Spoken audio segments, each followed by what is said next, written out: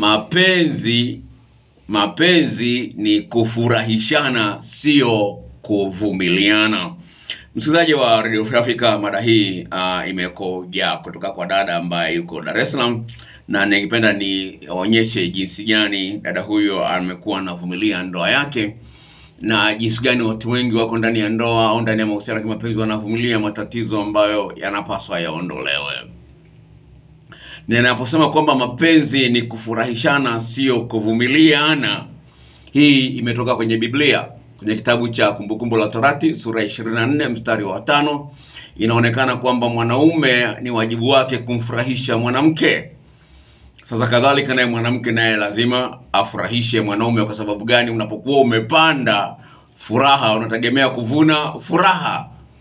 Kwa hiyo kama mwenzio anakufurahisha katika maeneo fulani, alafu wewe utaki kumfurahisha katika maeneo fulani anayoia kwamba ni ya muhimu, tayari hapo unatengeneza mazingira ambayo wanasema wana, watu wanasema kwamba ndoa ni kuvumiliana. Hilo sikubaliani nalo. Anayevumilia ni mfungwa, amefungwa miaka mitano, anasubiri miaka mitano ishe atoke. Hiyo ndio mfungwa anayevumilia. Ukisema kwamba ndoa ni kuvumiliana ni upumbavu, kwa sababu sio mpango wa Mungu. Ndoa ni kufurahishana, kwa maana imeandikwa wa Warumi sura ya kumi na nne mstari wa kumi na saba kwamba ufalme wa Mungu sio kula na kunywa, bali ni furaha na amani na haki katika Roho Mtakatifu. Mtanisamehe kama wewe sio Mkristo, lakini mimi ni Mkristo, lakini naamini kwamba maneno ya Mungu yana nguvu kuwasaidia watu wote walioumbwa na Mungu aliye hai. Kwa hiyo kwa hiyo unaona kwamba kwamba ufalme wa Mungu ni furaha na amani. Yaani kusipokuwa na furaha, maana yake hauko kwa Mungu. Kwa hiyo kama kama uko ndani ya ndoa, katika mahusiano ya kiuchumba, lakini una furaha na huyu mtu uliye naye, uko mbali na Mungu aliyeumba mbingu na nchi unayoikalia. Kwa jambo la msingi fahamu kwamba mada hii inakuletea uweze kuelewa kwamba mapenzi si kuvumiliana, mapenzi ni kufurahishana. Na huo ndio mpango halisi ambao unapaswa uwe nao katika akili yako, na hili linaonekana kabisa mwanzoni mwa mahusiano.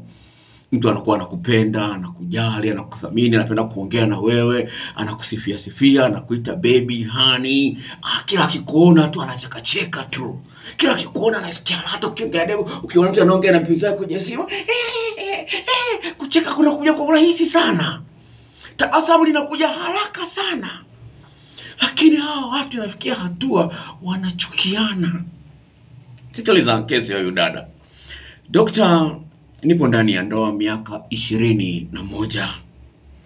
Biblia imesema mume atamlinda mumewe. Naomba viu, naomba vionjo tofauti tofauti, maana nilishika simu ya mume wangu nikagundua ana mchepuko.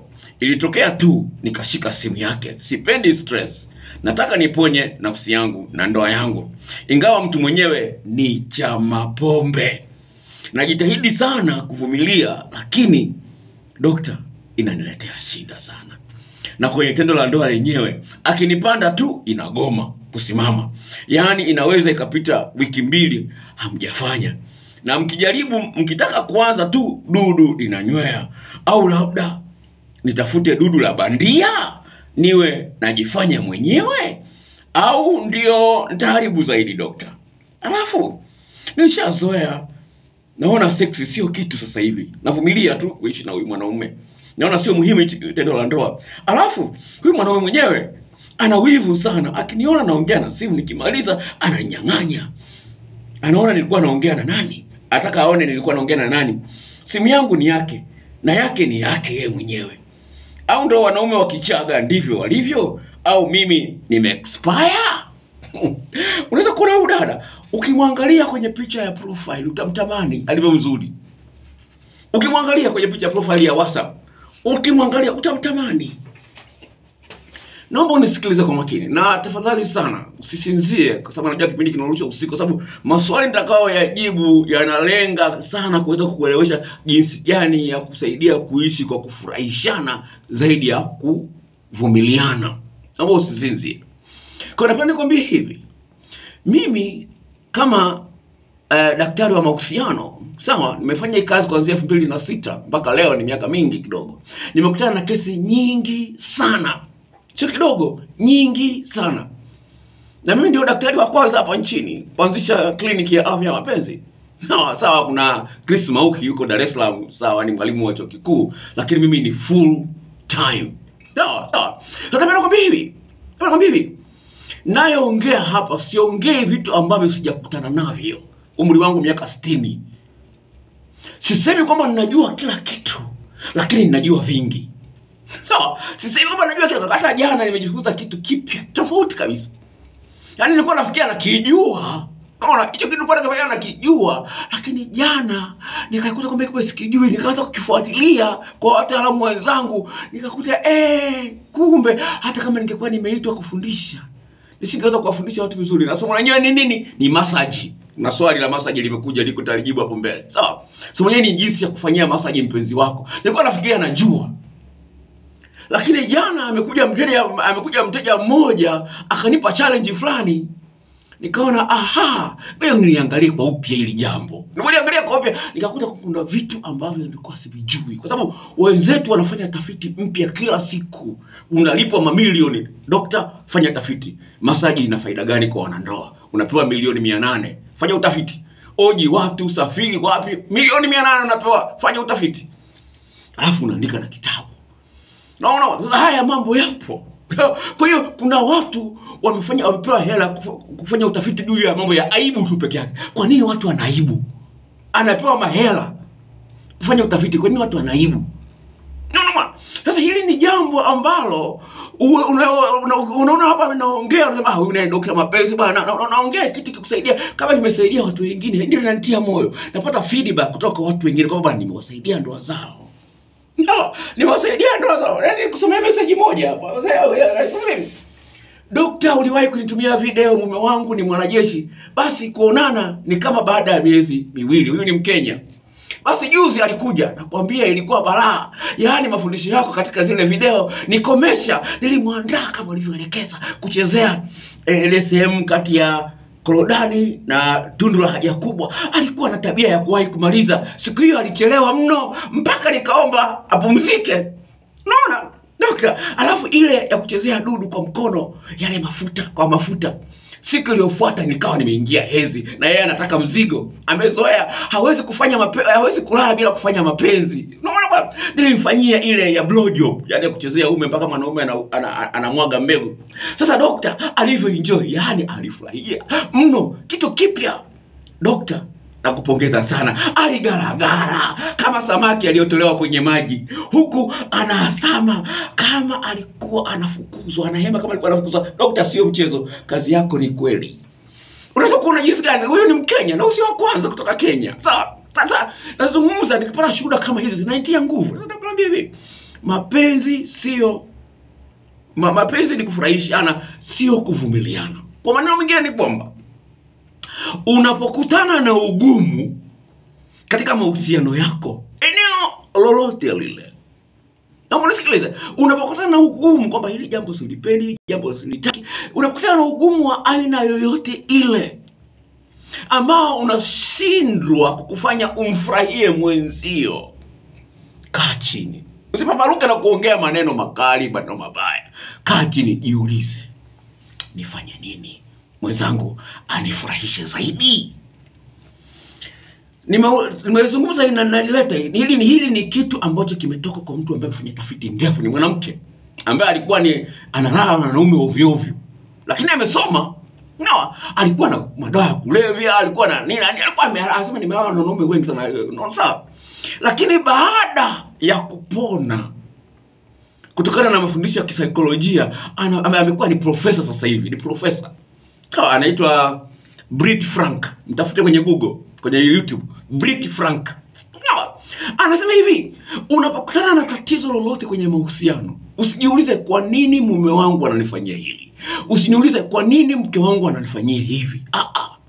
Anasema hilo ni kosa ni baya kujiuliza, yaani sawasawa na nyumba inaungua, badala ya wewe nifanye nini nizime huu moto, sema kwa nini moto nyumba yangu inaungua. Hilo sio hilo haitakusaidia kujiuliza kwa nini nyumba yangu inaungua wakati nyumba inaungua iko kwenye moto, haitakusaidia. Unayopaswa kufanya nifanye nini moto huu uzimwe. Mo, zima moto namba yao ya simu unayopiga sasa wewe unajiuliza kwa nini? Sasa unapojiuliza kwa nini, utajibu utajipa majibu yasiyo sahihi na itasababisha ndoa hii isifike mbali, uhusiano huu usifike mbali. Kwa sababu gani? Utapingana na vitu ambavyo mwenzio anaviona kwamba upasi kupingana navyo. Kwa hiyo unapojiuliza nifanye nini, nimlainishe anielewe, nifanye nini? Ndio maana na, kitabu kinachosema kwamba jinsi ya kumfanya mwanaume awe mpole kama bata. Ushasikia mtu kakatwa na bata akaenda kulazwa? Amna, bata ni mpole. Kwa hiyo hicho kitabu nimeandika jinsi ya kumnogesha mwanaume mpaka awe mpole kama bata.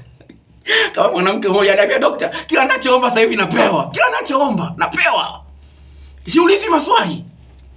Ah, na- nazungumza yani jinsi gani ya kuingia kwenye akili ya mpenzi wako, alafu anaona kwamba kuachana na wewe yeye ndio anayepata hasara. Sasa kwa sababu unamwekea mtu wa kulalamika, kwa sababu unauliza, unajiuliza swali, kwa nini hanipendi? Kwa nini hanipendi kama zamani? Unajiuliza maswali, majibu unayojipa sio sahihi. Nifanye nini huyu mtu anione mimi ni wa thamani? Huwezi ukathaminiwa kama kuna kitu ambacho unafanya. Huwezi ukakumbukwa kwa kitu ambacho huna. Sawa? Labda niko kwa mfano mimi nilikuwa mkali sana. Nilikuwa mkali. Sawa? Yaani kosa dogo tu nitakwambia na tena naongea kwa sauti ya kali, lakini nimebadilika kwa kiwango kikubwa mpaka mimi mwenyewe najichangaa. Nifanye nini ili mke wangu anifurahie? Naona, najua nifanye nini? Nilikuwa nafanya kazi mpaka Jumapili, nikaamua hakuniambia, mke wangu hakuniambia, lakini mimi mwenyewe nikaamua Jumapili sifanyi kazi. Mke wangu akafurahi, lakini alikuwa hajanilalamikia. Unaona, alikuwa hajanilalamikia, lakini nikaamua, nafahamu hili ni jema, nikaamua kulifanya. Hmm, Sawa, sawa, sawa, sawa, sawa? Mimi ni msomaji wa Biblia. Sawa, kwenye Wafilipi 4 8 nasema lolote lilo jema, lolote lenye sifa njema, litafakarini na Mungu wa amani atakuwa pamoja nanyi. Wafilipi 4 8 nasema lolote lilo jema. Kwa hiyo angalia lipi jema la kumfanyia mwenzangu, lipi jema la kumfanyia mwenzangu, baya lipi niliondoe, ili mwenzangu anifurahie zaidi. Utakuwa tu mtu wa kulalamika mpaka lini? Utakuwa mtu wa kunung'unika mpaka lini?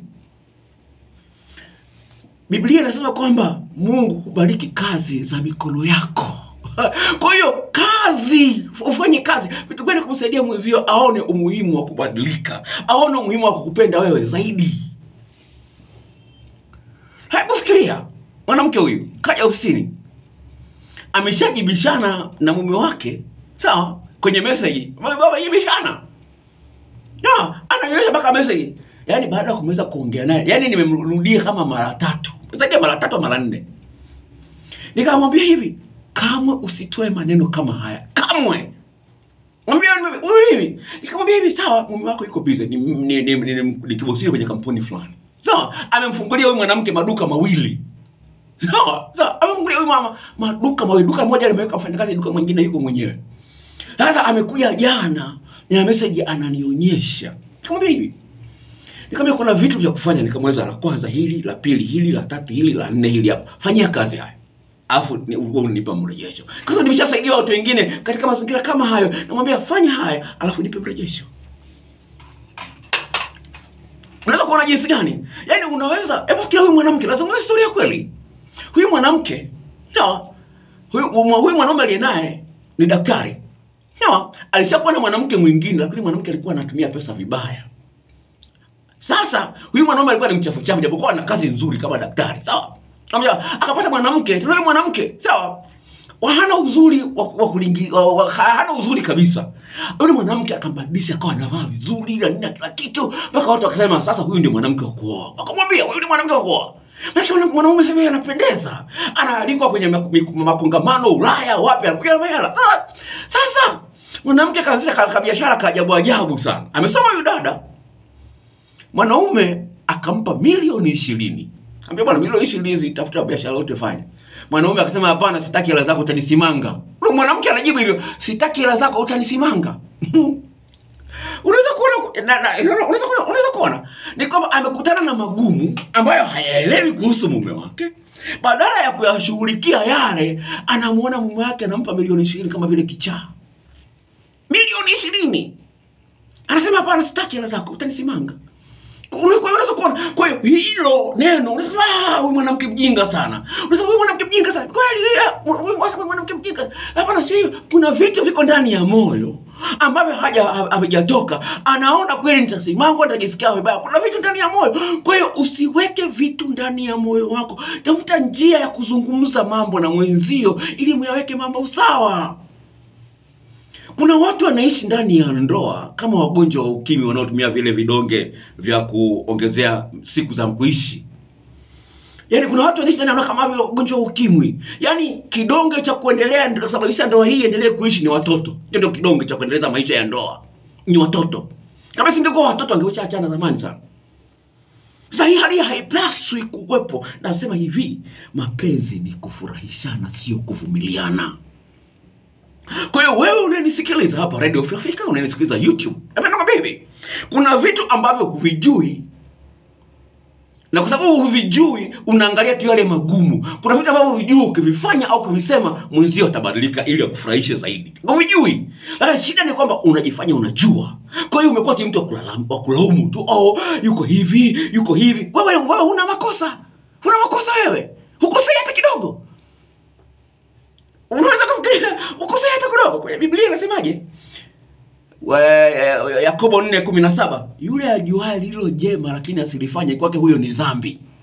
Sasa yule anayejua lilo jema lakini hakulifanya. Kwa hiyo kuna mambo mengine huyafanyi kumbe ni dhambi. Kuna mambo mengine huyasemi kumbe ni dhambi. Kama unaamini kwamba mumeo au mkeo kukutamkia live, sio kwenye message, na kupenda sawa, mara tano kwa wiki kama unajua meno ni jema alafu ulifanyi ni dhambi. Funga na kuomba toa zaka sadaka zote lakini dhambi hiyo inakuzuia maombi yako yote yasisikike. Hmm? kwa sababu gani? Umeshindwa kumtamkia mume wako kwamba nakupenda. Na biblia inasema kwamba imani huja kwa kusikia. Haleluya!